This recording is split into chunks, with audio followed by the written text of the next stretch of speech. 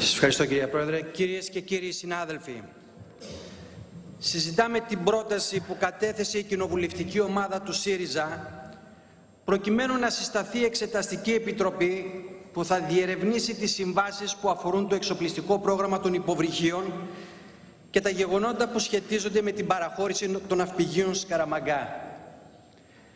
Τα τελευταία χρόνια βρισκόμαστε αντιμέτωποι με τη μεγαλύτερη κρίση που γνώρισε μεταπολεμικά η χώρα, που οδήγησε σε σωρευτική απώλεια της τάξης του 25% στο εθνικό εισόδημα και την ανεργία στο 27%. Αντί λοιπόν να συζητάμε την εθνική στρατηγική για την ανασυγκρότηση της χώρας, αντί να προσπαθούμε να λύσουμε το πρόβλημα μιας παραγωγικής δραστηριότητας που φυτοζωεί από τις ενέσεις ζωής του Υπουργείου Εθνικής Άμυνας, είμαστε εδώ και συζητάμε, επειδή το θέλει ο ΣΥΡΙΖΑ και ο αρχηγός του, για το αν πρέπει να κάνουμε εξεταστική επιτροπή, επειδή το ελληνικό δημόσιο έκανε μία σύμβαση με τους επενδυτές των ναυπηγείων που σε όλες τις, τις λεπτομέρειες και σε όλα τις τα σημεία ήρθε στη Βουλή. Συζητήθηκε διεξοδικά σε περισσότερες από 24 συνεδριάσεις των αρμόδιων κοινοβουλευτικών επιτροπών και της Ολομέλειας, στις οποίες για πρώτη φορά κλήθηκαν και απάντησαν στις ερωτήσεις των βουλευτών οι ίδιοι αντισυμβαλόμενοι των συμβάσεων του Υπουργείου Εθνικής Άμυνας και η Βουλή ψήφισε νόμο με τον οποίο η σύμβαση αυτή αξιολογήθηκε ως εποφελής για την εθνική οικονομία και το δημόσιο συμφέρον. Αντιλαμβάνεστε ποια είναι η κοινοβουλευτική κοινοτομία που εισάγεται με την πρότασή σας να αξιολογηθεί ένας νόμος; Θα συγκροτούνται εξεταστικές επιτροπές από εδώ και στο εξής για τους νόμους που ψηφίζονται στη Βουλή; Προτείνεται επίσης να διερευνηθούν τα πεπραγμένα της περίοδου 2000-2009 όταν για το λόγο αυτό συγκροτήθηκε προανακριτική επιτροπή που υπέβαλε παραπεμπτικό πόρισμα αλλά και εξεταστική επιτροπή. Η Επιτροπή Εξοπλιστικών Προγραμμάτων λειτουργήσε ως τέτοια για όλη την περίοδο εφαρμογής των συμβάσεων του 2000-2002.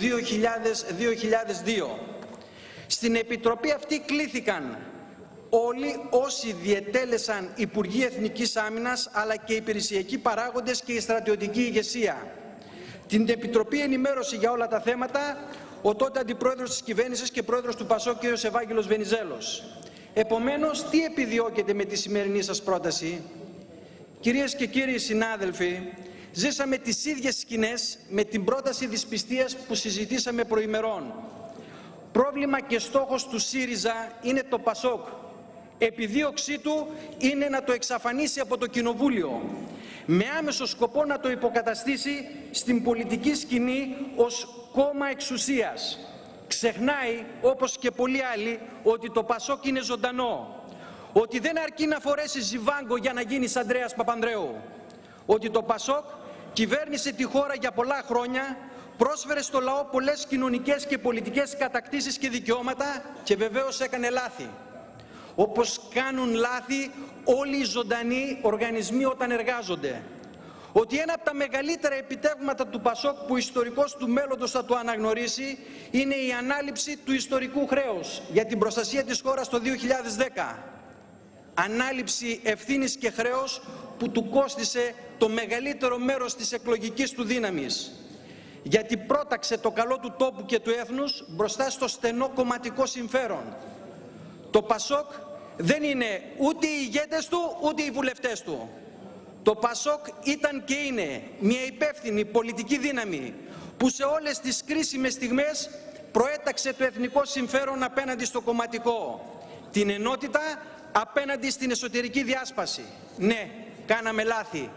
Αλλά αν θέλετε να γίνετε ΠΑΣΟΚ, και αυτό ισχύει για όποιον άλλον θέλει να γίνει ΠΑΣΟΚ, πρέπει να μιμηθείτε τις αρετές μας και όχι τα λάθη μας. Είναι πλέον προφανές ότι η επίθεσή σας κατά του Πασό και του Προέδρου του εντάσσεται στην προσπάθειά σας να απεμπλακείτε από το στρατηγικό αδιέξοδο στο οποίο βρίσκεστε και το οποίο δεν σας επιτρέπει να πείτε τίποτα επί της ουσίας για την προοπτική της χώρας.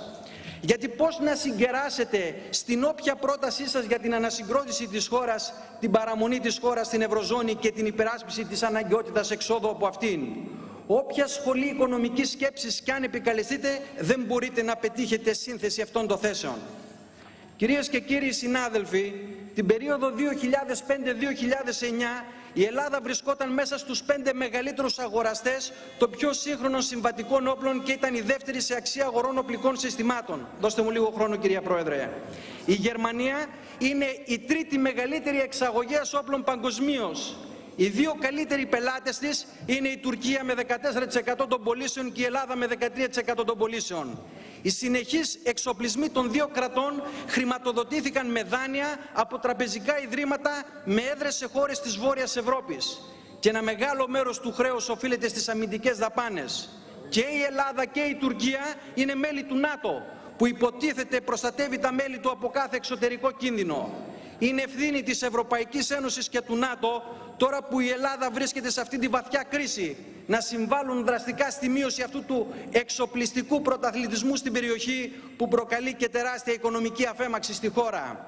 Η χώρα πρέπει να έχει ένα πρόγραμμα εξοπλιστικών δαπανών που να το αντέχει και να το εκτελεί με διαφάνεια.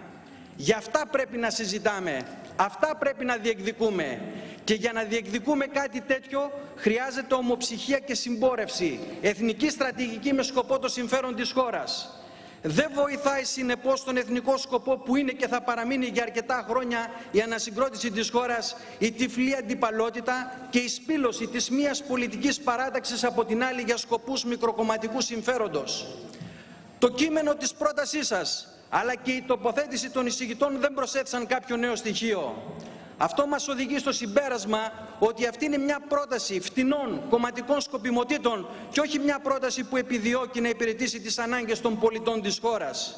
Και επειδή όταν η σκανδαλολογία και η σκανδαλολαγνία υποκαθιστούν την πολιτική, οι μόνοι που κερδίζουν είναι οι εχθροί της δημοκρατίας, καταψηφίζουμε αυτή την πρόταση.